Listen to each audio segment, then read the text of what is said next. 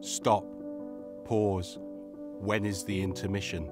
The timeline scrolls ever quicker, too busy to do anything except to say that we are busy.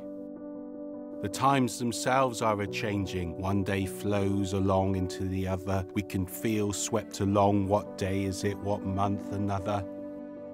But for us, at any time, time can stop. But we don't. A caller, trauma, an accident, an incident, time slows, seconds count, crunch time. Time can be a healer, but only if you get there in time. A well timed stitch can save much more than nine. Today is gone, it is already yesterday. But tomorrow, we can save tomorrow, and all the days to come.